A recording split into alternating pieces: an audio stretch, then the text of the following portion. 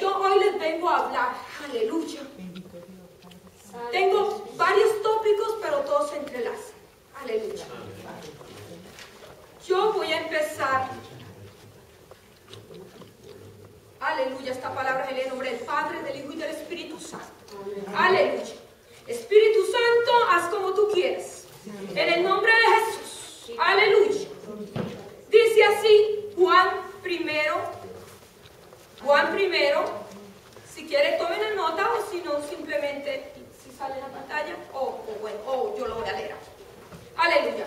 Juan primero 12 dice así, mas todos los que le recibieron, levanten la mano los que recibieron a Jesucristo. Aleluya, todos son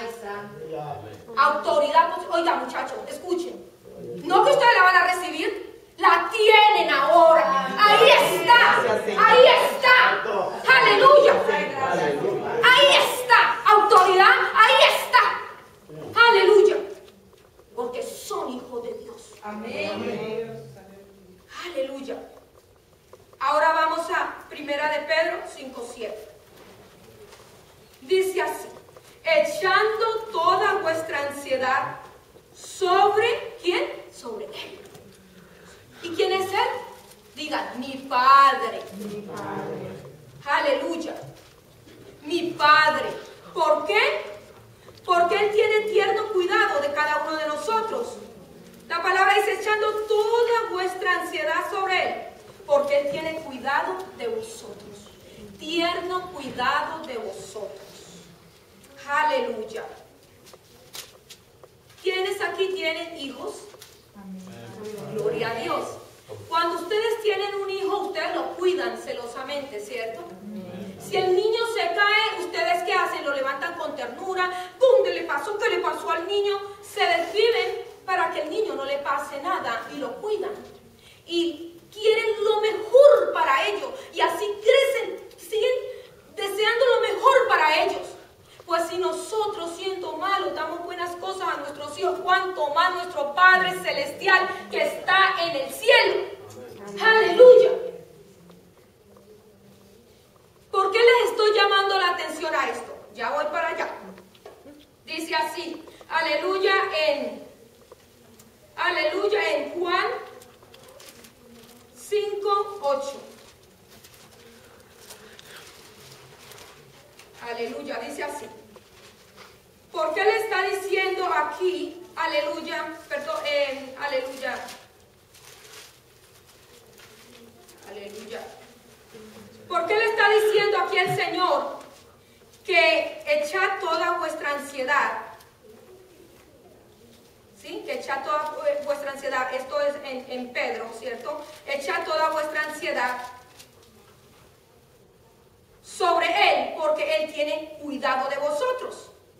Y en el siguiente, que es primera de Pedro 5.8, dice así, dice, sed sobrios y velad, porque vuestro adversario, el diablo, como león rugiente, anda alrededor buscando a quien devorar. ¿Cierto? Pero este adversario, ya Jesucristo lo venció en la cruz. Ustedes tienen la victoria. Todo ha sido dado por Dios, está hecho. Está hecho, está ahí. Lo que el Señor necesita que ustedes lo crean. Que tengan fe en eso.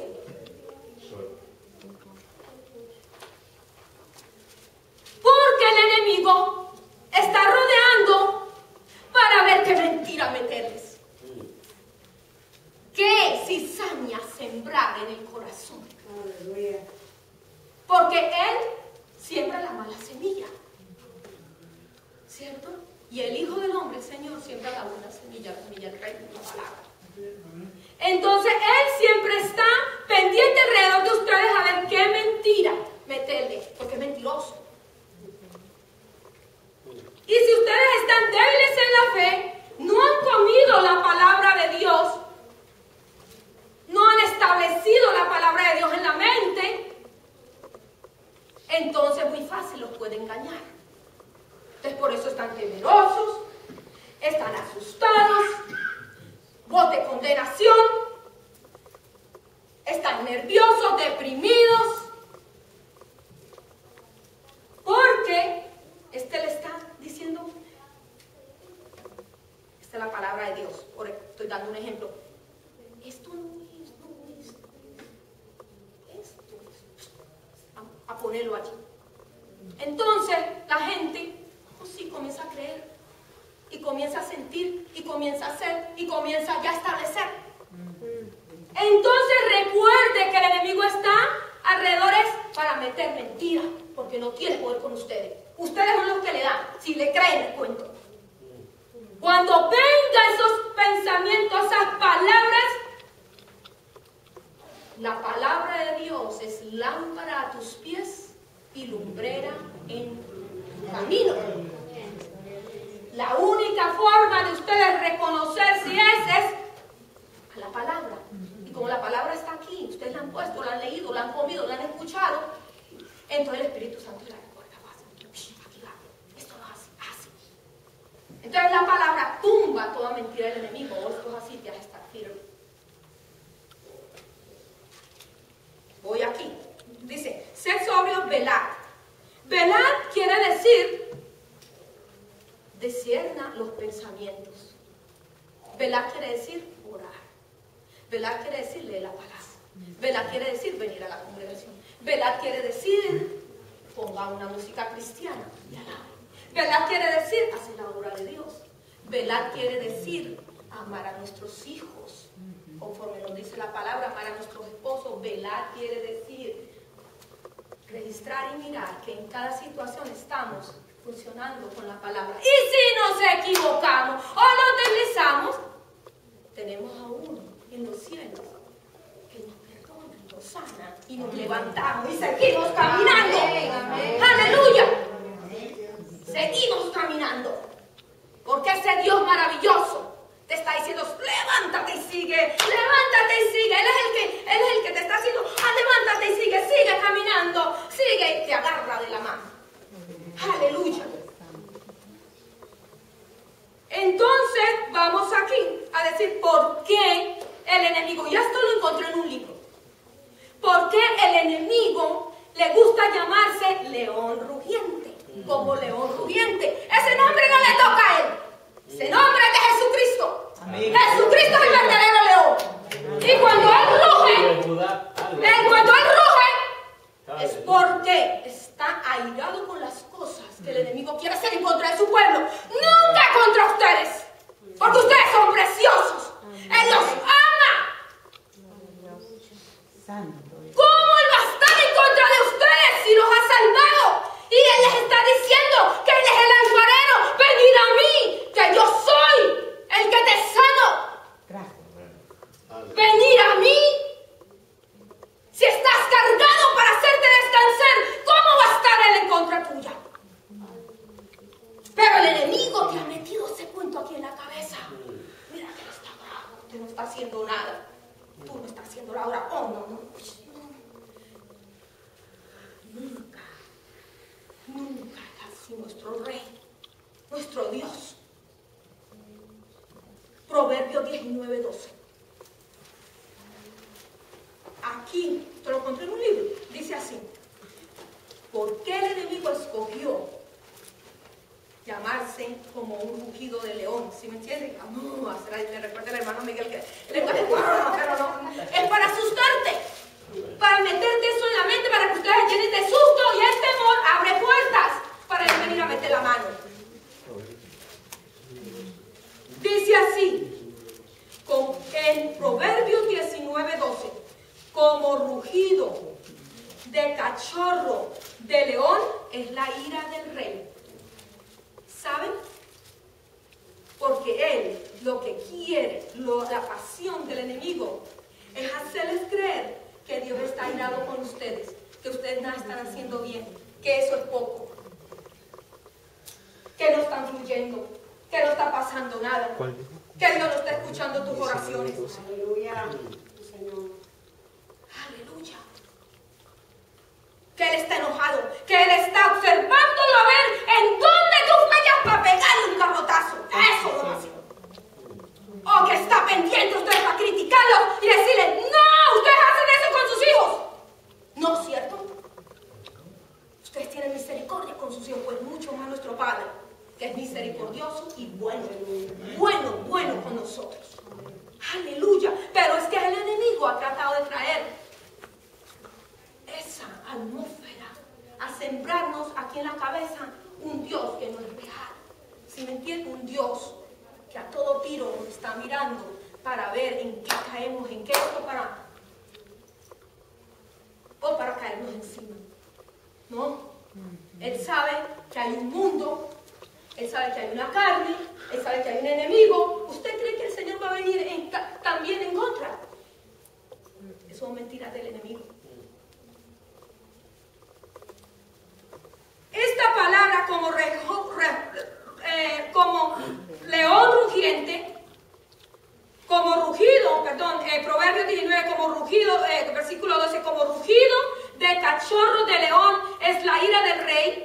y su favor como el rocío sobre la hierba es de nuestro Señor Jesucristo. ¿Ok? Pero el ruge es de las patrañas que está viendo el enemigo. Cuando él ruge, el demonio sale volando. Aleluya. Aleluya. Aquí les quiero hablar de la cizaña. Nuestra mente, el enemigo la quiere para poner cosas que no son, que son a parecer a la palabra, pero no son. ¿Sí? Él le gusta traer ideas, eh, eh, ideas, eh, sentires, voces, ver cosas, así es, que no son. Porque Él está peleando por la mente de nosotros, porque la batalla es aquí en la mente. Por eso es que nosotros tenemos que tomar en serio la lectura y la palabra. Porque somos hijos de Dios.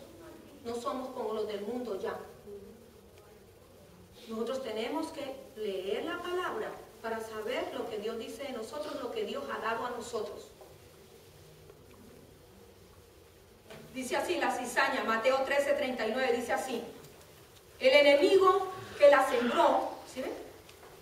Es el diablo, la ciega es el fin de los siglos y los segadores son los ángeles. La cizaña cuando es sembrada, ¿qué da? Depresión, maldad, ira, contienda, envidia, celo. Esos son los frutos de la cizaña. Y eso da muerte. Nosotros no queremos eso, nosotros no queremos estar amargados, nosotros queremos el gozo del Señor. ¿Cuáles son los frutos del Espíritu? De la palabra. Gozo, paz, alegría, contentamiento, benignidad, regocijo. Todos queremos eso, ¿cierto? Aleluya, y están abiertos para nosotros.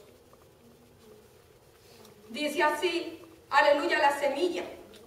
Lucas 8:12 dice, y los de junto al camino son los que oyen, son los que oyen y luego viene el diablo, oye la palabra, y luego viene el diablo y quita de su corazón la palabra, lo que yo les decía. ¿Sí? Quita de su corazón la palabra, oiga, para que no crean y se salven. ¿Sabe por qué? Dios nos ha regalado la salvación del alma, que es lo más precioso. Pero también en el paquete de la salvación viene salvación a muchas situaciones que vamos a pasar y, caminar. Él también nos va a salvar de esas áreas, de esas formas, de esas situaciones. ¿Sí? Él va a estar con nosotros también en esas situaciones. O sea, está la salvación del alma, pero mientras caminamos en esta tierra hay salvaciones de situaciones en las que estamos. Provisión. Ustedes lo leen la palabra, ahorita yo no lo puedo explicar, ¿cierto? Que me alargaría el tiempo.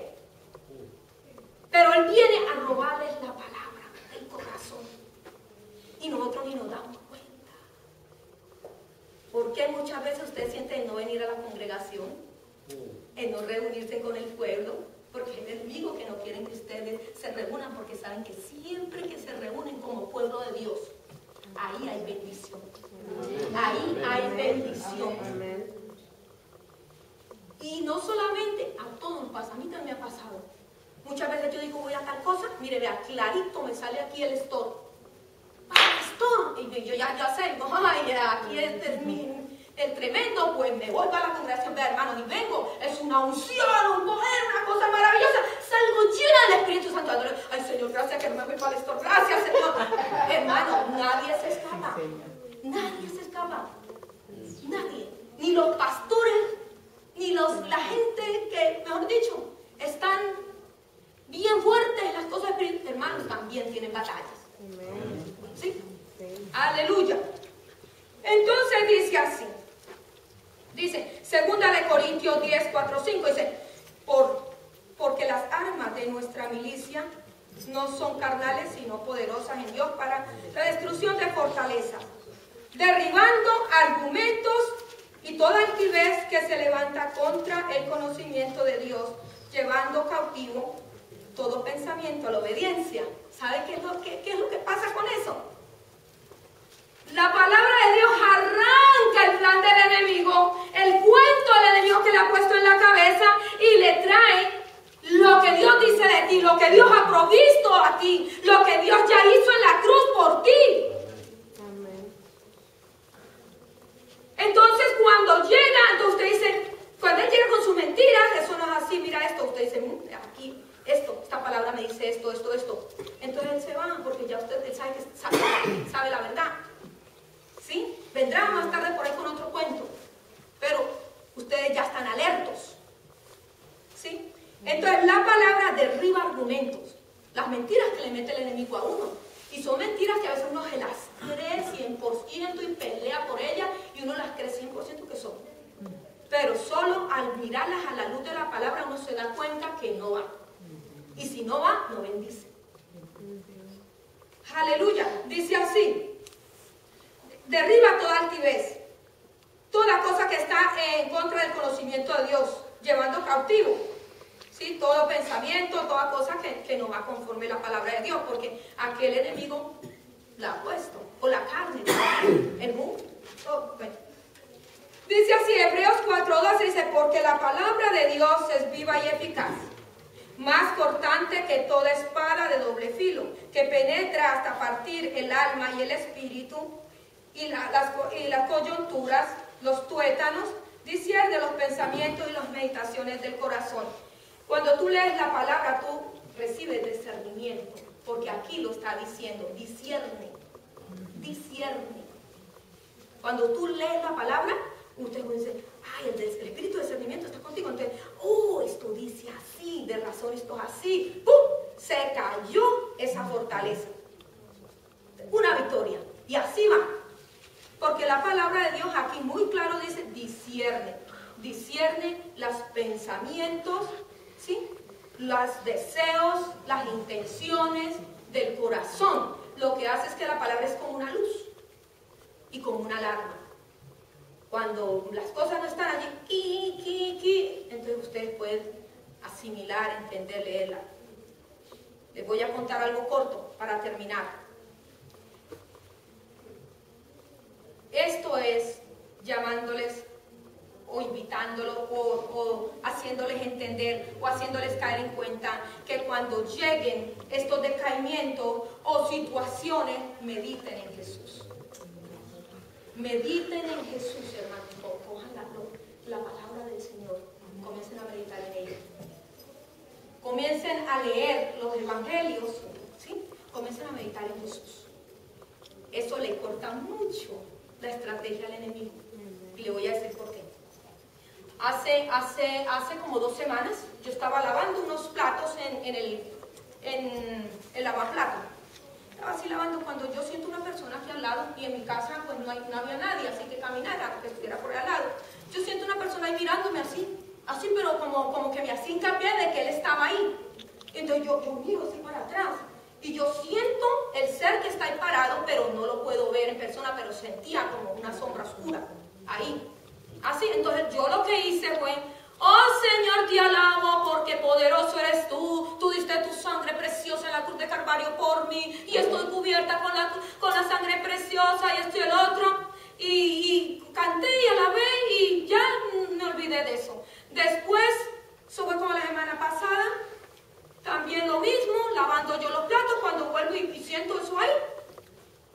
Entonces vuelvo yo y miro y Ay, Señor, te alabo, te adoro, y este y el otro, y Señor, tú eres grande, tú eres poderoso. Y miraba y ahí, oh, te alabo, te adoro, y comencé a cantar y a pensar en Él y todo eso. Terminé de lavar los platos y me fui. Al otro digo, ay, ¿qué pasó con la sombra? Yo no me di cuenta lo que es meditar en Cristo. ¿Ok? Esa es la clave para nosotros. Meditar en Jesús. Medite. Si Él viene a acusarles, en la gracia de Dios. Acuérdense que por la gracia de Dios son salvos. Reposen en ello y mediten en Jesús. No se queden manipulados, mediten en Jesús.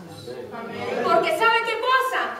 Cuando ustedes meditan en Jesús, Él se manifiesta. Él se manifiesta. Aleluya. Señor, gracias Padre en el nombre de Jesús. Gracias Padre por este pueblo en el nombre de Jesús. Yo les invito a pasar aquí. Yo lo que voy a hacer es que les voy a ungir la cabeza. Pasen mis hermanos en el nombre de Jesús. Aleluya. Pasen, aleluya. Los intercesores, aleluya. Precioso Padre Celestial. Glorifícate, Padre Dios. En el nombre de Jesús, Padre, tu palabra ha sido predicada, Padre. Y en el nombre de Jesús declaramos que se cae, Señor, toda fortaleza, Padre. En el nombre de Jesús de Nazaret, mi Dios, intercesores